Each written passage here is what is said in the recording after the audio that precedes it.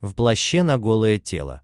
Ирина Шейк демонстрирует точенную фигуру в горячем образе. Ирина Шейк показала своим подписчикам новое фото, на котором примерила вещи от своего давнего друга и любимого дизайнера Рикардо Тиши.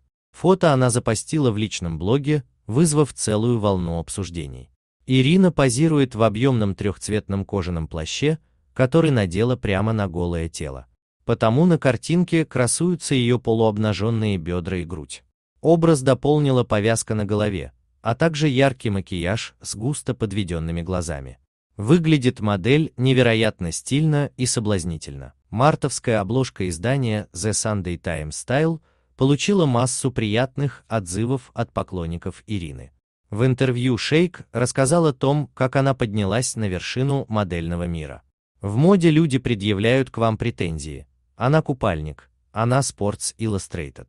И тогда люди не хотят прикасаться к вам, потому что они говорят, о, она слишком сексуальна.